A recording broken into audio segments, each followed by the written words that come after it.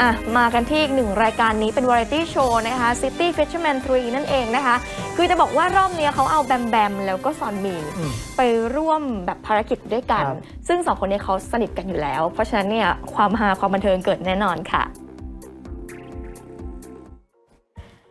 ทำเอาแฟนๆ อดจะอมยิ้มไม่ได้นะคะ กับความน่ารักและก็สีปึกของคู่ศิลปินไอดอลพี่สาวน้องชายร่วมค่ายนะคะ อย่างแบมแบมกันพี่มุก สมาชิกชาวไทยของบอยแบนด์วง God Seven ค่ะ กับซอนมีจากวง Wonder Girls นะคะ เมื่อล่าสุดก็มีภาพของทั้งคู่ปรากฏตัวร่วมกันในรายการ City Fisherman 3 นะคะ หรือว่า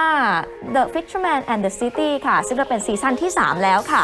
โดยภาพที่เพิ่งจะมีการเปิดเผยออกมาให้ชมกันนี้ เป็นเพียงส่วนหนึ่งของรายการที่มีกำหนดออกอากาศกันในวันนี้ก็คือ 16 กรกฎาคม ทางช่องของ Channel A ค่ะ ซึ่งก็เป็นช่องของเกาหลีใต้นะคะ ตั้งแต่เวลา 4 ทุ่ม 20 นาทีตามเวลาที่เกาหลีใต้หรือว่า 2 ทุ่ม 20 นาทีตามเวลาในไทยค่ะ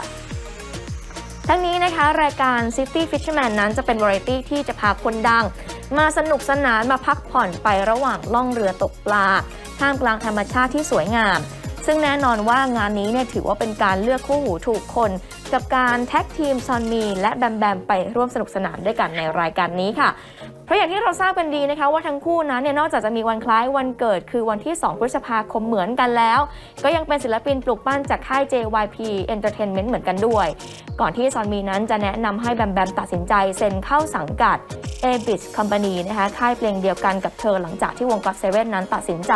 ไม่ต่อสัญญากับค่ายปลุกปั้นเมื่อต้นปีที่แล้วค่ะ ทั้งคู่จึงถือว่าเป็นคู่ซีพี่สาวน้องชายที่สนิทสนมกัน แล้วก็ให้ความไว้วางใจกัน ซึ่งก็เป็นแบบนี้มาอย่างยาวนานเลยค่ะ